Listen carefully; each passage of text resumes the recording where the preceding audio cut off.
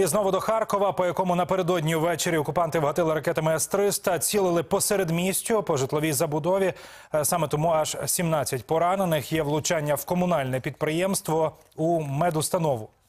І на місці працює кореспондентка ТСН Анастасія Невірна. В неї дізнаємося більше про наслідки атаки.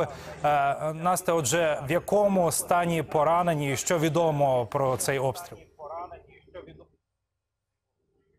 Вітаю святи. Ми зараз на місці ракетної атаки, прямо у середмісті Харкова.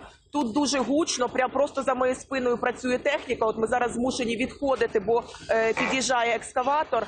Ми знаходимося поруч із е, лікарнею, куди влучила е, російська ракета, і вона напівзруйнована. Разом з нею постраждали також ще 19 е, будинків, і у більшості немає вікон та дахів. На вулиці зараз щонайменше 5 градусів морозу, тож діри у вікнах та дахах намагаються чим швидше затулити плівкою та ОСБ.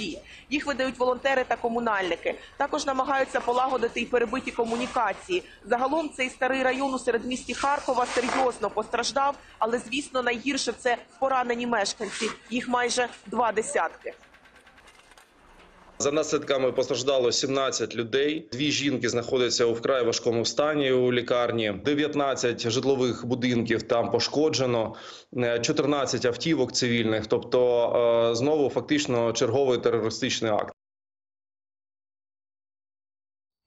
Ракети поцілили близько 10-ї вечора, коли більшість мешканців були вдома. Дивом минулося без загиблих, адже тривога не встигла спрацювати. Люди кажуть, було відчуття, наче їх будинки злетіли у повітря. Такої сили були удари. Пан Константин розповідає, ледь не втратив доньку і двох маленьких онуків. Ось послухайте, що він каже. Я слышал эти взрывы, сразу звоню сюда. Жена говорит так и так, что дочку сейчас забираю. И увезла. Окна повылетали. Если бы не ее бухгалтерия стояла на окнах, то бы их бы стеклами покосило бы все. У нас дому 150 лет. Он выстоял, я говорю, те воины все. А его так трухануло, что у нас, у нас ничего в коридоре, у нас пошла страшная трещина. Само ощущение после этих двух ударов, это жуть.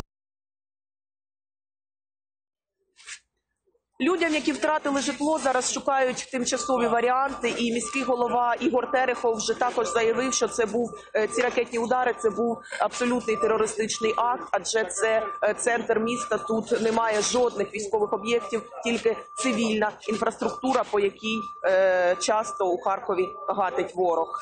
Студія. Більше Дякую тобі за подробиці. Так, будемо чекати. Звичайно ж, Е, кореспондентка ТСН Анастасія Невірна про е, російський ракетний удар по Харкову.